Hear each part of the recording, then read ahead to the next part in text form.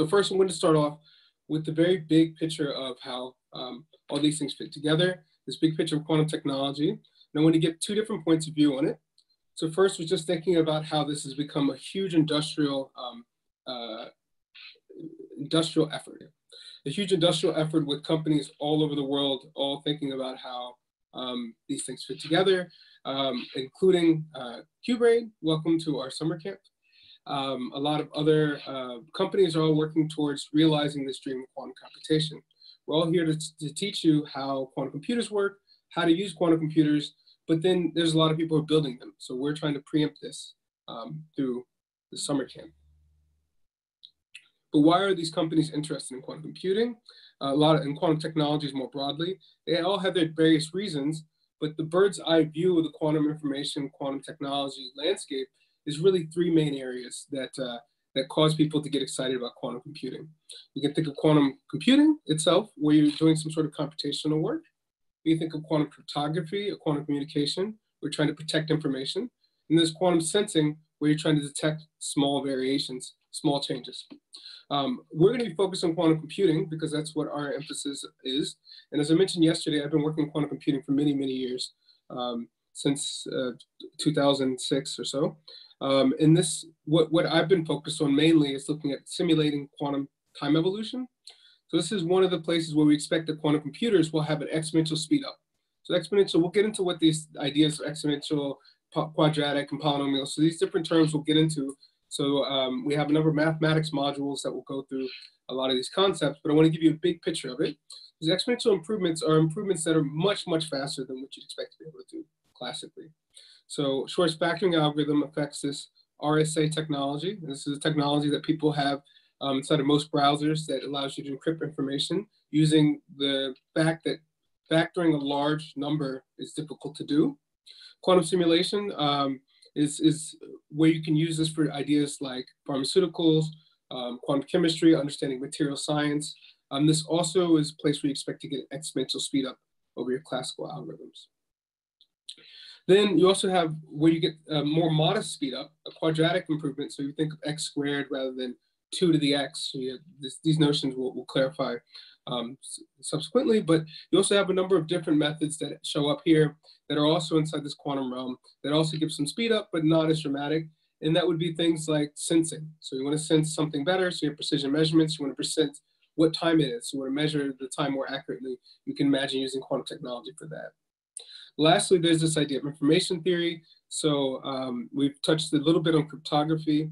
Um, there's this notion of teleportation, secure communication, all these different notions. So here's um, just some diagram, some, some pseudo diagram of, of how you might expect a lock and key to fit together inside of some quantum uh, visualization of the density matrix. Okay, that's a very big picture of how quantum fits together in my head. Um, and, and, what we'll be able to do is pull out how we're going to apply these different uh, areas that you see here, these three areas, to tasks that are of interest to whatever you, whatever you find fascinating, whatever the industrial interest is, whatever your um, personal passions are. Okay. So with that in hand, uh, just some overview of kind of how this whole quantum domain fits together. What I'd like to do is um, bring in another idea. So when we talk about quantum mechanics, uh, in the history of quantum mechanics, there's a lot of work that goes on from physicists, people thinking about physics, thinking about how mechanics works. Um, the presentation that Andrea gave was very nice. Um, another place that quantum mechanics introduces quite nicely is from thermodynamics.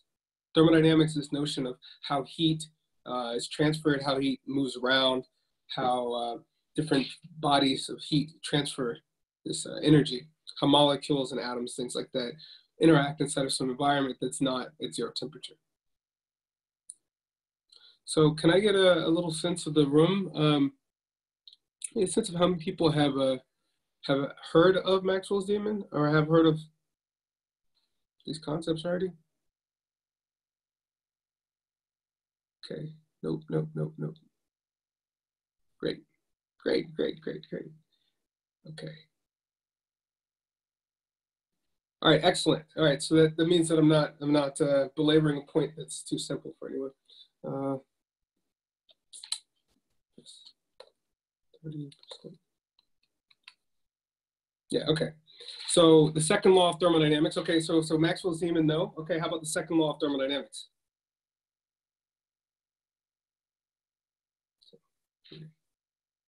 Second law of thermodynamics is a reasonable question. I see a lot of notes. I see a lot of yeses. Um, I would say for those of you who have not, um, this is a famous quote from C.P. Snow. Um, it says, uh, he's talking to some, some, he's at a house party. And uh, at the house party, people were asking him about uh, various topics. And he starts asking them, he asked the other people at the house party, how many of them could describe the second law of thermodynamics? I was asking something which is the scientific equivalent of, have you read a work of Shakespeare, right? So that's to say how fundamental this notion of um, the second law of thermodynamics is. So I have here depicted um, is a steam engine. So all of us has have cars, vehicles, airplanes. All these things use energy. Uh, we have beer, um, which is Prescott Joule, James Prescott Joule, who has a unit of energy joule named after him, is uh, PV equals nRT. That's the ideal gas law, uh, but that's not that's not the second law. That's a different law. Um, and this is uh, Ludwig von Boltzmann. So the main idea of the second law of thermodynamics, for those of you who have, haven't seen it in a long time, is simply that heat goes from the hot body to the cold. You never have it going the reverse, right? Um, it just says that if this thing's hot, this object's hot, and you put it next to something cold, well, this won't continue to heat up, but rather will cool down, and the cold object will heat up. So heat always goes from hot to cold. That's effectively what um, it says, right? You can think of heat as being somehow the, the disorder. So if you think of heat as disorder, you can think of it as how, how much these molecules are bouncing around, how quickly they're moving, things like this. that are closely related to this idea of heat, right? So the idea is that with the second law of thermodynamics, that heat flows from hot bodies to cold bodies, okay? A little review. Um, turns out this would be relevant for us thinking through Maxwell's demon. So James Clerk Maxwell, you guys have heard of him, uh, of course, the Maxwell's equations that were mentioned yesterday. We were talking about electricity and magnetism. He also was uh, hugely influential inside the fields of well, basically all the fields of mathematics and science at that time, including thermodynamics. So in this area of thermodynamics, you think about the second law of thermodynamics, that the heat has to go from the hot body to the cold. And uh, he goes on to think of this notion of how to violate the second law of thermodynamics. And he fabricates this idea of a small demon. So we conceive of a being, and this is demon in the old school sense. So if you uh, you use a computer enough and you've ever looked around inside the computer's demon, D E A M O N. So originally, demon wasn't necessarily a, a negative. Uh, yes, it is the equivalent of entropy increase. Um, there's a, there's many different ways to say the second law of thermodynamics. Um, I didn't want to introduce entropy too explicitly, but you can think of this entire argument entirely in terms of entropy. Um, so and that, that will also connect very nicely to the notion of information if you if you know how that's connected. Otherwise, we'll just leave it at this level. Um, so this this quote from Maxwell says, if we conceive of a being who can see the individual molecules, who can open and close this hole so as to allow only the swifter molecules to pass from A to B, and only slower molecules to pass from B to A, he will thus, without expenditure of work, raise the temperature of B and lower that of A. So effectively, this demon here inside this inside this uh, pitcher is able to take the hot particles and put them on one side and separate it from the cold particles. And this is effectively running um, running this heat gradient backwards, okay? Or running the heat the wrong way, as it were. Okay, so let me pause here and see, do I have any questions? There we go. Um,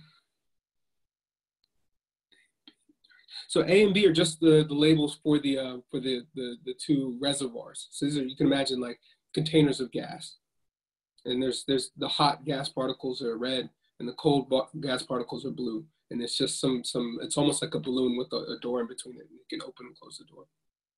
Um, and no molecules formed. Any any other questions here before I I don't want to go too fast. Okay. Yeah, so actually, that's these are all really nice arguments. So this this idea of Maxwell's demon is introduced in 1867, and it goes on to be an argument for the next 100, 200. You can even argue about it now. Um, and, and so the main idea of why the slower ones go um, through one hole is that the demon's measuring how quickly or slowly it is, right? And we're also assuming that he can open this very, very tiny door without using any energy, right? So we'll assume that he can open the door without doing any work, right? Or effectively zero work. Right? You can imagine a door super tiny relative to the size of the system. Um, and why did the slower ones go from B to A? Um, well, he's going to put the door to prevent it. Okay, what are we trying to establish? Right. So then, what are we trying to establish? Okay, I'll, I'll take that as an as an indicator to move forward. Okay, so if we're trying to, to establish here, we're trying to think through, can we violate the second law of thermodynamics, right? So if we have the second law of thermodynamics and we have this little demon who can violate it, then how come we can't see at the larger level hot the, the temperature, the, the, the heat going from the cold object to the hot object? Why can't we see this? Little tiny demons that are controlling this. We never see that. And um, what's really nice is that this gets us to a way of to start thinking about computation. So Leo Szilard um, in 1929. So Leo Szilard, if you, if you, I'm not sure if I'm saying it right, Szilard, Szilard, I'm not sure. Um, however, his influence on America as a country is not to be understated. He had a huge influence in the American um, uh, um, nuclear weapon program. He was actually one of the most influential scientists for actually convincing the president to pursue nuclear um, weapons technologies, um, as a side note. Um, he also thought about thermodynamics and he introduced this notion of Maxwell's demon, but a very, very small Maxwell's demon. What he says is that, okay, Maxwell's demon is going to try and get some work out of this system, going to try and cheat the energy gradient, try and somehow steal little, little bits of, uh, of, of heat flow in the wrong direction. So Leo says, well, maybe I can use this to get out some work. Maybe we can get out a little bit of work. Right? And so he says, okay, if I start off with the partition, I have just to, to simplify the whole problem as simple as we can get. This is one thing that I've learned over the many years of doing science is that starting with the simplest case a lot of times it helps you understand how to even attack a problem. So thinking about this problem, Maxwell's demon, all these particles moving around, and he has this little door, and how much energy used for the door, and how many gas particles are there. These are all very good questions. So we simplify it down to one gas particle, perhaps it's much easier to analyze. And this is this idea of Szilard's engine. It's one gas particle, and the idea is this gas particle can bounce around, and in the middle here is a partition, and this partition is, is movable. So when the particle bounces off of it, it'll move this partition a little bit over, right? The idea is that the demon, instead of actually opening and closing a door, he can just attach a pulley. So what he'll do is he say if the particles is on is on this side, then he'll attach the pulley over here. If the particle were on the other side, he'd attach the pulley on the other side and let the particle push the door the other way. So in this case, he's attached the pulley. This ball keeps bouncing around. Boom, boom, boom, boom, boom, boom, boom, boom, boom, boom, boom, boom, boom. It would be better if we had a movie. Um, and then it expands this, and he gets out a little bit of work. Okay. Then he'd go back, then he put in the partition again, and then see which side the gas particle is on, and then look on the left or right, and think about it. Okay. So I'm gonna leave this as a question just for a second, just to kind of get you guys to think. So I got one of the questions in the chat was, what does this have to do with anything? Okay. So I'm going to ask, do you, does anyone have any, any guesses as to how this connects back to the larger discussion that we're having on computation? Any guesses? Any ideas?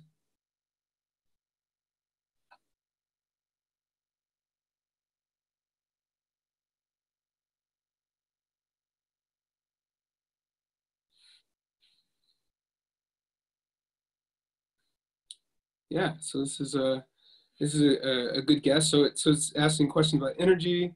Um, we're thinking about controls, thinking about um, the uh, the length and zero one values. So zero one value is going to correspond to left to right. And, and, and these are all great ideas. This is exactly what the problem design is, going to do, is kind of separate all these things. So in this case, we're going to try and not use energy and just think of just in terms of this, in terms of which side he's going to put this weight on. So he's going to control from the left or from the right and all the controls that he has to do in order to control something, you also have to know where it's at. And this connects us directly to this idea of information rather than just energy. So we have energy as some notion of, of distinguishing which state's which, but we also have this notion of just knowing are we on the left or right. So the idea um, and the resolution for this paradox is that Maxwell's demon actually is learning. So his memory itself is actually becoming disordered. So it's becoming heated up. So you can imagine his memory, his brain is going to keep working. And as his brain works, he's going to get, he's going to use his brain. that's going to cause entropy that he's taking, uh, it's going to cause the same separation. So as he extracts heat and the heat goes from the wrong direction from A to B, his memory is getting disordered by the same amount. This is one way to resolve this paradox. It's the idea that every time he does a measurement, every time he learns something, he's also he's also um, getting information, and that information also has some thermodynamic cost. Okay, so this is the idea that information itself is a physical construct. That is, memory itself also counts as part of the thermodynamic system. And there's one way to say the demon can't cheat the second law of thermodynamics because his brain is also heating up as he's making the system cool down. Okay, so this is just a motivation for this idea of information being physical. Um, okay, so let me let that digest for a second. So all these ideas here of Maxwell's demon is taking the idea of the demon itself, being able to do a computation, to decide whether to put the, the, the, the pulley on the left side or the right side, requires him to write down whether the, the ball's on the left or right. And he's gonna write it down at the first time, left or right, second time is left or right, third time left or right, so on and so forth. Left, left, right, left, left, right, left, right. And he keeps going like this, and, and eventually his memory would be disordered with left, right, left, right, left, right, right, and left, left, right, left, right, left, right. The same thing as if it heated up as the as the as this this uh, system cools down. So you can imagine that his memory, being a physical thing, ha also has to hold that information. Okay, and that's what we want to get across: this notion of information as being a physical thing. I didn't mean to include this. You can ignore the bottom part. The idea here is that this gives us a notion of, of a quantum bit. So we think of a bit, not so much a bit as being an actual uh, digital thing inside your computer, but you can imagine a bit being a message I want to send to you, but I only have two possibilities. Um, uh, I think a nice example that I like to use when, when I'm explaining this idea of a bit um, is that if we have a secret meeting, we're either going to meet at 3 p.m. or we're not going to meet at 3 p.m., but I don't want anyone else to know. Okay, so you can imagine that I might have something that's going to hold that information for me, right? So maybe I have um, an empty glass, okay, or I have a glass that has pins in it. And if I leave the glass that has pins in it out, then you know that we're going to have the meeting at 3 o'clock. I leave the empty glass and take out all the pins, then you know that we're not going to meet at 3 o'clock, right? But that's just two possibilities. So that's one bit. But that possibility is being stored in a physical object, either the empty jar or the full jar. And this is going to actually be the object that carries that information. The same thing that if we're going to let an object carry that information, be it your brain, be it um, you know a carpet being turned to the left or to the right, a statue being turned upside down or turned to the left. You can imagine all these things holding information for you. You can imagine using a quantum information carrier to hold that information for you as well. And that's what gets us this notion of quantum, quantum computers. Uh, but first, take a second and just realize from this discussion what I wanted to get across the whole idea of bringing up this Maxwell's demon, bringing up this, this one potential resolution of Maxwell's demon is to get you to think that the information itself is physical. The information itself has to be treated with physics, right? You have to think of information carriers as actual objects in your physical world that you manipulate with physical manipulations, right? Whether it's electrical, magnetic, or just pushing the object over. These are all physical interactions you use to manipulate computers. So to uh, round out the rest of this talk, what I want to do is give a notion of abstract computers, realistic computers, and quantum computers, right? So um, this is kind of zooming in from a very theoretical picture of computers to more realistic picture of computers and hopefully setting us up for a nice discussion for the rest of the week and the rest of the summer camp. Okay. So this notion of a Turing machine is going to be discussed uh, inside the next uh, module. And so I thought I'd introduce it here um, with a little bit of some toy examples that, that we can play around with. Um, not sure if we have time for breakout rooms, but if we have extra time at the end, then perhaps there's a small example that you can play around with um, in groups even. Okay, so Alan Turing is, um, is a very intelligent scientist. In fact, if you haven't seen the movie, I'd recommend Imitation Game.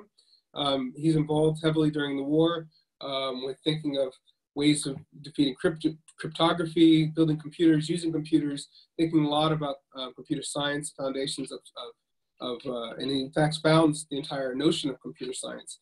Um, when people first founded the notion of computer science, the original notion was about what is computable and what's not, is very different than where we're at now, where we're thinking about how easy is it to compute something, how difficult is it to compute something, but rarely do we ask is it computable or not.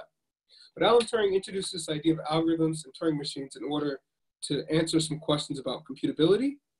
Um, and what I want to do is give you some examples of how this Turing machine works. Okay.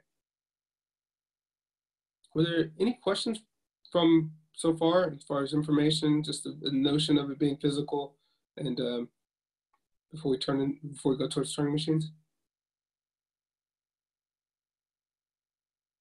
Okay. So um, there's a very famous paper by Charles Bennett where he talks about thermodynamics of computing, where he's thinking about computers. Um, and this is the way the Turing machine works is that it's going to be just some object or some person or something that has a pen and is able to write down something on a piece of tape. So here's a tape that has zeros and ones. There's some alphabet in this tape. And there's some transition rules that you give to the computer. The idea is I'm going to give the computer some input. It'll be some, some strip that has numbers on it. The computer will run, compute some algorithm, and then in the end, it will follow these transition rules and come back and tell you what the answer is. So for instance, it says A, so you're in state A, and you read the, the, the bit zero, then it says you switch, you change the zero to a one, you move to the right, and you change the state beta. Right, so let's see happened here. Move from zero, the zero, wrote down a one, moved over, and then change this to a zero, and then you're in state beta. Okay. This is a very basic idea of how a formal computer works. Um, the idea is that these transition rules and this tape notion is enough to design an Apple um, iPhone, enough to design a, uh, a uh, complicated calculator, um, enough to design a supercomputer or a desktop, right? All the computers are executing essentially the same capabilities of a large piece of tape and some transition rules. This is a terrible way to program a computer, not terrible, but a difficult way to program a computer. Now we have programming languages like C++, Python, Jupyter Notebooks that make things much easier than having to go through writing down these transition rules. Um, one of, uh, yeah, so one, um, one thing I'd like to, to give an example of, and this is a little tinier than I expected, but this is a notion of a, um, a very physical idea of a, of a computer, right? This is where if you had a biological computer, you can imagine that a person, you know, somebody's DNA is carry out some sort of computation. Here, there's some string. Now this string is going to be some polymers uh, with zeros and ones representing different uh, possibilities for the polymers. There's some enzyme that's going to execute this transition rule. And you have these, these molecules that are going to drive the reaction one way or the other. Um, the details is not so important, but the point is, is that this is executing the same thing that takes you from zero A to erases the, the, the zero, replaces it with the one, transitions to a zero beta, okay? That's to say everything else on this side uh, over here, in some sense you can ignore, but the point is that there's a way of constructing uh, something that can do this rule. Once you can do this rule, you can say, all right, it's simple enough to support the notion of a Turing machine, then you can imagine that this is how you can imagine having biological computers. Right? So we're not going to talk about biological computers, but the point is, is that this notion of a Turing machine is very broad. There's a lot of things can end up being a Turing machine. We want to think of as quantum computers as Turing machines, and that will give us, um, oh, not sorry, quantum, sorry. Here's an example of a Turing machine. And I like this example here. I made this because I was thinking about Turing machines, and the notion that Alan Turing actually had in his head when he's thinking of a Turing machine is an actual person to do this um, work. So in around the turn of the century, computers were people. Um, and I think we pointed this out. Um, if you think about, um, you think about the, the uh, Hidden Figures movie, where there's a lot of uh, people doing the calculations for the space race. Well, one of the original reasons that people uh, developed a lot of computers, if you think of um, uh, GMT, so Greenfield me, um, Mean Time, you have uh, a lot of computers calculating tables to solve the uh, east-west problem, right? So you have a lot of people who are doing computations by hand in order to compute something that's of interest to society more broadly. So Alan Turing was thinking how to formalize the instructions you give to a person who's your computer. So this is a set of instructions I could give to you in a scratch sheet of paper that had a zero zero on it, and I could ask you to follow these rules and tell me, did it get accepted or did it get rejected? In this very simple way of, uh, of understanding machines. Okay. Are Turing machines anything we follow the rules of assigning zero or one between their states? Um, so the Turing machine, the simplest way is that it's just the it's just you can imagine it's actually a person with some well-defined set of instructions and some scrap paper and a pencil and eraser. Right? That's what you should think of a Turing machine as a person who's going to do the compute who's going to do the computation for you, and you're going to give them instructions on what to do. So you can imagine your PC the same thing. You want your PC to, to figure out um, whether these two bits add up to one or whether they add up to zero or they add up to two, right? And you can have you, you can ask your machine to decide this, right? So the acronyms BGN, SWP, and CHK are just the states that you can be in. So SWP would be like swap, BGN would be like begin, and then um, CHK is like check. So it's just, these are just, this is a very toy model, um, but I made this up to give a very concrete example of how a Turing machine would work. So I think this would be reasonable to test out, um, to actually take a screenshot and see if it works and actually see what, what inputs would be accepted, what inputs would be rejected.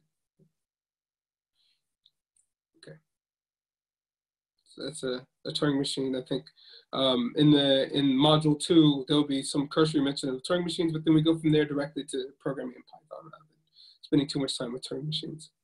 The idea of um, quantum Turing machines and different types of Turing machines is that you have this computer with this set of instructions in these different states, and, and you can give these Turing machines different amounts of capability.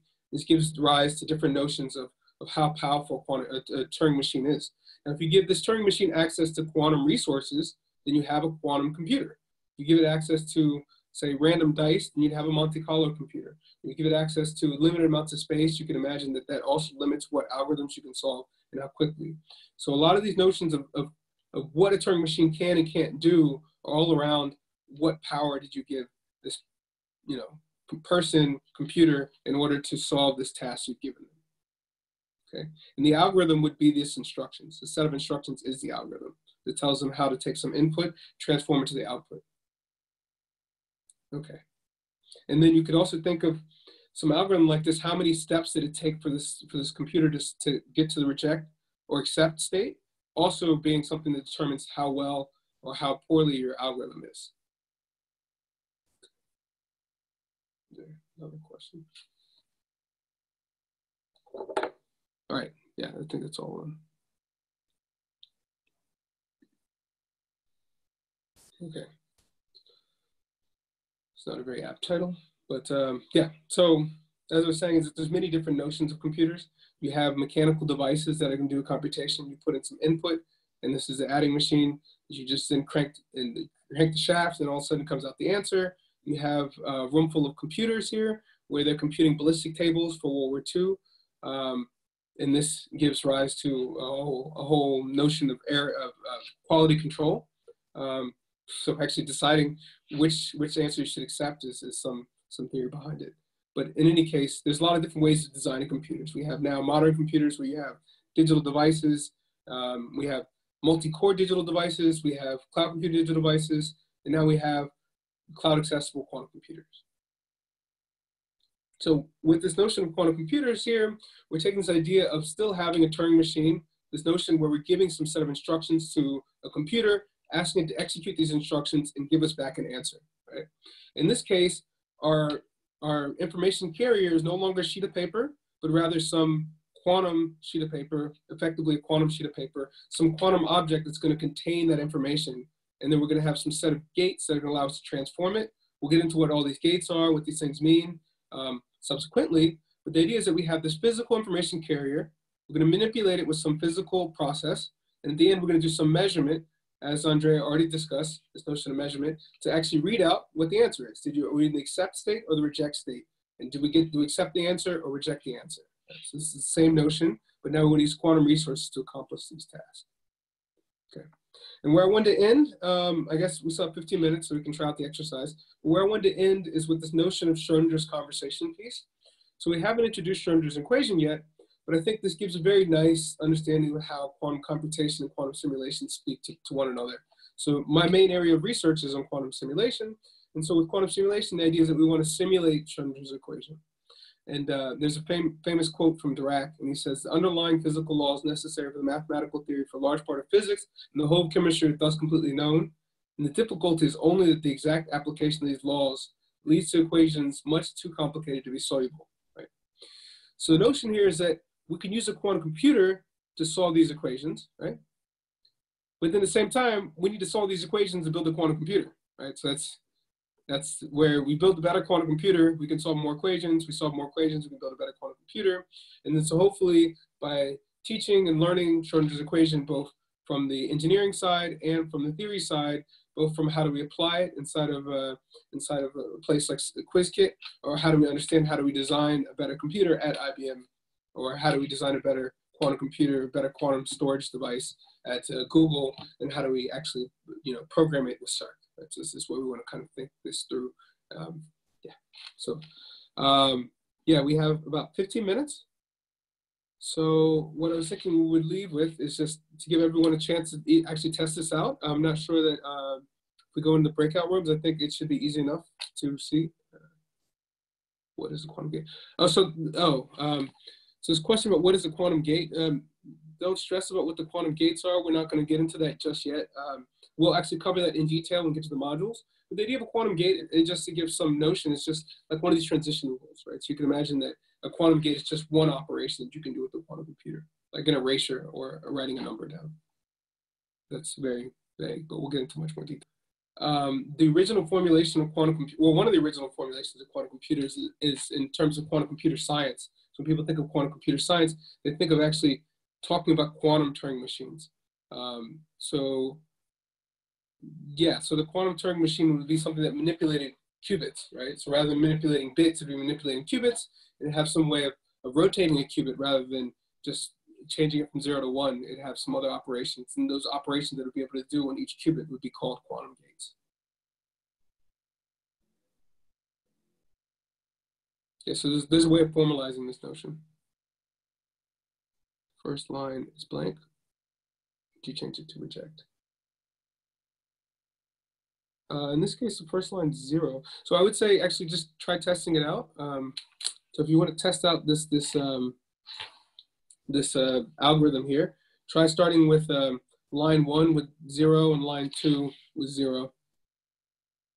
Um, or line line try zero zero, try zero one one. So if you try those inputs, you can see which ones are accepted or rejected.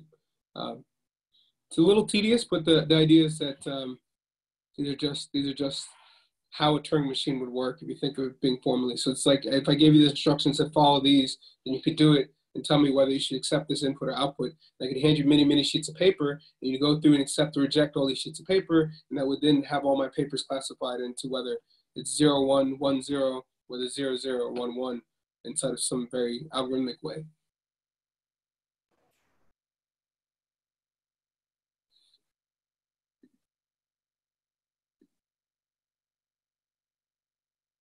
What is a qubit? Is it a physical object? Yes, a qubit is very much a physical object. That was the thing that I was trying to get across here is that um, in terms of what this entire, what I wanted to get across in this lecture is that um, you have to think of all these things as very much physical objects that even in the, in the case of a computer, in case of your digital computer, the computer that you're on, there are physical things that are holding this information, um, physical charges that hold it. And so the, the, the, qubits, in this case, so here's some examples of qubits. You can imagine a photon as a qubit, you can imagine a nitrogen vacancy as a qubit, semiconductor quantum, um, semiconductor quantum dot as a qubit, a, a, trapped ion as a qubit, a nuclear magnet, uh, a magnetic spin as a qubit, or as we as we will see with um, IBM's quantum computer, superconducting loops, or what's being used at IBM, Google, and uh, D-Wave. But in every case, anytime you have a computer, you have to have a physical object that is that is there um, to actually do the computation, to actually hold the information. So hopefully that answers the question given so many types of qubits, one better than the other. Um, in terms of like practical matters, yes, they so they have different strengths um, and for different reasons. So these are actually different different physical things. So so some things are going to interact more with the environment, some things will interact less with the environment. How much it does or does not interact with the environment will also um, dictate how easy it is to control.